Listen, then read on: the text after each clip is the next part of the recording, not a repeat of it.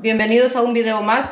Espero me acompañen hasta el final del video. Vamos a estar preparando una rica pupusa con harina de arroz y calabacita. Cualquier marca, con tal que diga harina de arroz, es buena. Estaré utilizando de esta. Estar poniendo tres tazas de harina de arroz. Van dos tazas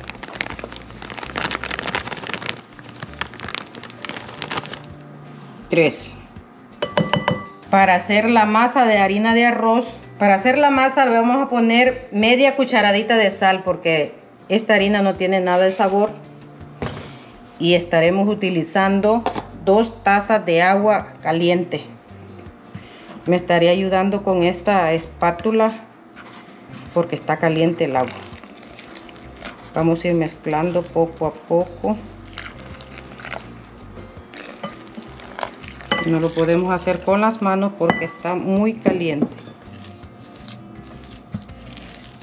Con dos tazas es suficiente de agua. Ya tenemos la masita, la dejamos reposar y vamos a preparar la calabacita. Miren qué bonita ha quedado.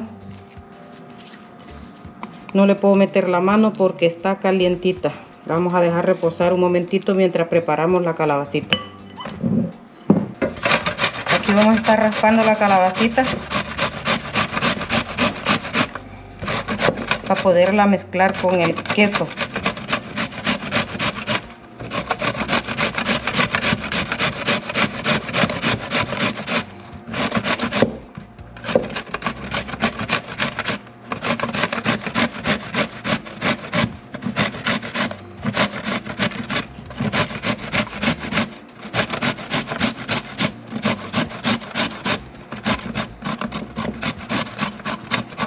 así de esta forma ya la raspamos le vamos a poner sal.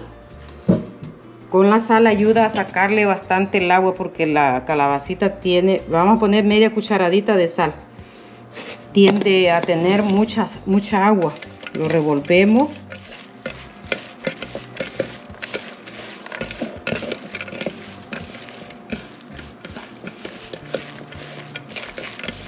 Lo dejamos un momento que despida la cantidad de agua que tiene. También estaré haciendo unas de espinaca. A mí me encanta la espinaca porque es buenísima para la anemia. Tiene mucho hierro.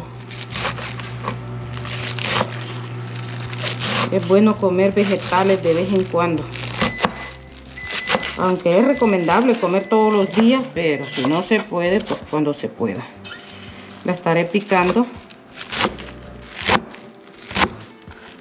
lo más que se pueda para revolverle el queso. Bien, mi gente, como pueden ver, la calabacita está soltando toda su agua. Ya piqué la espinaca. Le voy a estar poniendo una pizca de sal para que agarre sabor. La espinaca no se pone a freír ni a cocer porque pierde todos sus beneficios. Y así conserva sus vitaminas. Es mejor así en crudo. Lo revolvemos muy bien. Y aquí le estaré poniendo el queso.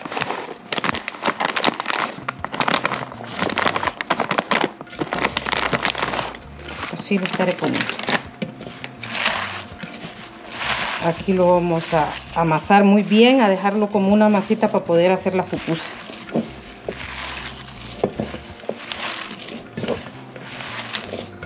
Se mezcla muy bien con el queso. Una gran vitamina cómo quedó una masita ya está lista.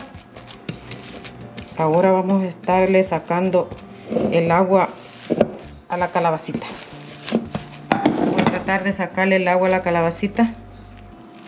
Miren que poquito se va haciendo lo que va saliendo el agua. No se debe dejar con esa agua porque no se va a poder hacer la pupusa queda muy aguado.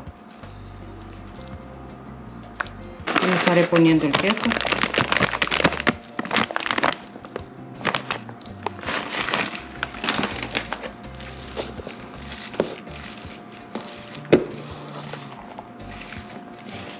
lo mezclamos que quede bien mezcladito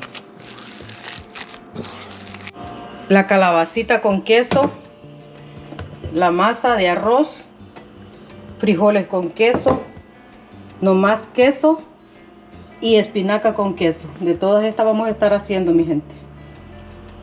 Ahorita le acabo de poner un poquitito de aceite aquí al comalito para limpiarlo. Nomás solo para limpiar el comal. Vamos a estar utilizando solamente agua. Y vamos a comenzar a hacerla. Se agarra una bolita. Así se extiende. Vamos a hacer como una tortillita. Ya para hacerle el huequito, encogemos la mano y le ponemos la tortilla y ya está el huequito para ponerle el relleno. Le ponemos el relleno que nos guste, bastante o poquito. Sí, miren mi gente. Cerramos. Y hacemos la pupusa, nos mojamos la mano.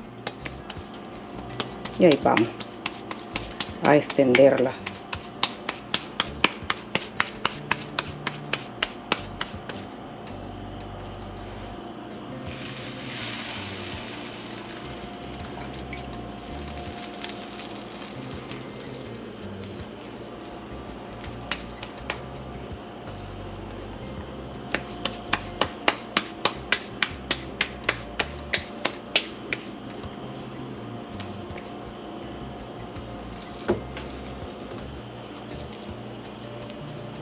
Las dejamos unos 3 minutos por un lado que se cosa y luego le damos vuelta por unos 3 minutos más.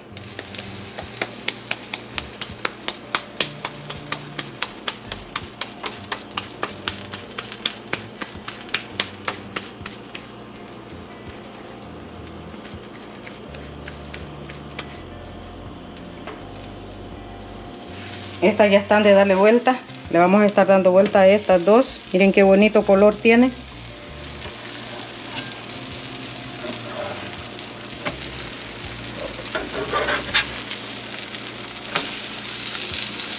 Las vamos a dejar cocer por el otro lado. Bueno mi gente, hemos llegado al final de este video. Así han quedado estas ricas y deliciosas pupusas de harina de arroz. Estas son las de calabacita. Están riquísimas. Miren qué ricas están. Calabacita con queso. Estas solo son de queso. Miren. Qué buena. Tenemos de frijol. Y también las de espinacas con queso. Miren. Qué sabroso esto. Y estas son las de frijoles con queso. Aquí hay para todos los gustos. Gracias a los que ya se suscribieron y a los que no se han suscrito, les pido por favor que se suscriban para que estén viendo todos los videos que estaré subiendo. Gracias. Hasta el próximo video.